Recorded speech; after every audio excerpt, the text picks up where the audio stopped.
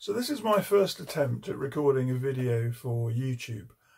And I've decided to take part in the Matt Ragland challenge, which is, the idea is that we do 10 videos over five weeks. So two videos a week um, and looking to talk about things that I'm interested in and things that grab my attention every single day. I'm at home in my studio today and this is my first attempt to do a YouTube video looking at how I work as a writer. I don't write every day, but my goal is to write about 5,000 words a week.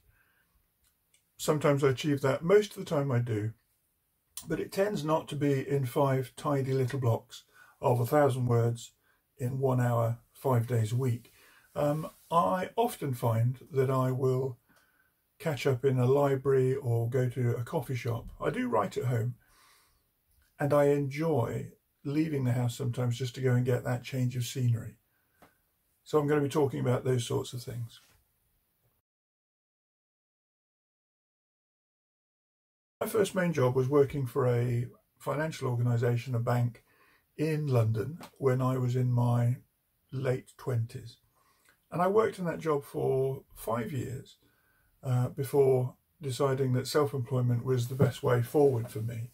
I think you start to deal with money and you start to spend, I don't know, it might be 10 minutes a day starting to look at your finances, tidying up your paperwork, making a clear list of what is owed to which organisations and organising that information in a way that you can actually um, deal with it and actually look at the information on a regular basis. These are just some of the things that will allow you to take back control of your finance and find a way to uh, feel a lot happier. Also, what I want to explain within this series of videos is a way that you can start to put money aside, that you can start to build up savings at the same time that you're dealing with debt. So you're building up a cash reserve, you're building up a buffer or a protection that will allow you to move forward and be stronger. So I'm looking forward to this series of videos. Um, Matt Ragland is a friend I know from YouTube he is often known as the bullet journal guy. He has a podcast called Connect the Dots. But he has a very practical way of looking at uh, self-management and time management and the use of bullet journals. I've always been attracted to time management and planning and I've used Franklin Planner Systems and Filofaxes all of my working career. And now I use uh, bullet journals because they are what's appropriate to me now in my self-employment phase and have been for the last probably 20 years. But Matt has an interesting series of videos on YouTube that I really recommend you watch and check out and subscribe to as well.